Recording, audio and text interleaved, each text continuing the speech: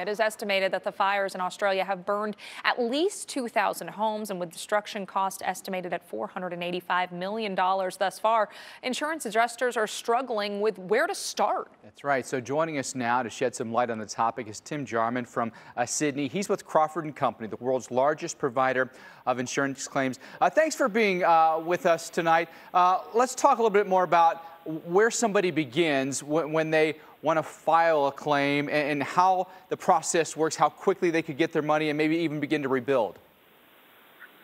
Okay, yeah, hi guys. Um, yeah, the process starts with a lodgement uh, by the, the, the, customer, the policyholder, with the insurance company.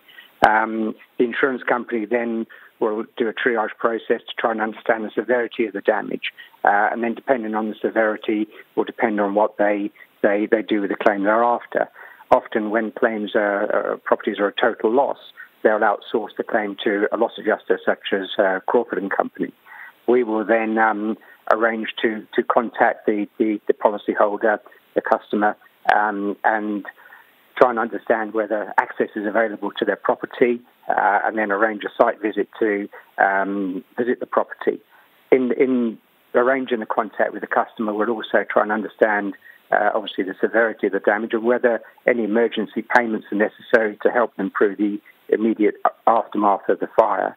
So more often than not, uh, when when properties are a total loss, we will make we will recommend the insurance company make an immediate payment to assist the, the, the customer as far as possible, as they will need money for accommodation, for clothing, for for essential items. Uh, so that that normally happens prior to the site visit um, then would arrange to, to undertake a, a, an inspection of the property and start to assess the loss from there.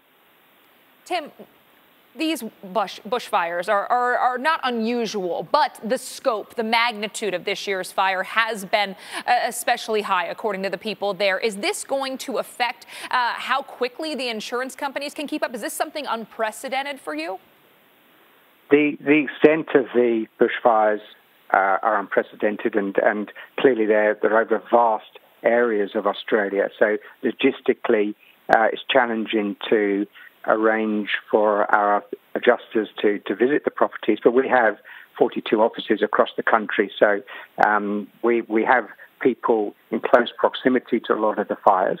Uh, so from that perspective, we can arrange appointments. The, the, the tricky thing, Alex, is, is actually arranging access because so many roads uh, are closed, um, both due to fires and, and, and due to damage.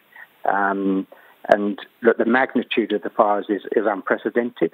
Uh, but having said that, the volume of claims um, emanating from the fires in comparison to maybe a cyclone is, is, is relatively small. Uh, but clearly, the, the, the, magnitude of the damage is, is significant when compared to other events. Well, Tim, bearing in mind that most properties are total loss. Oh, Tim, thank you so much for, for shedding some light on this. We appreciate your expertise. That's Tim Jarman joining us via phone from Sydney this evening.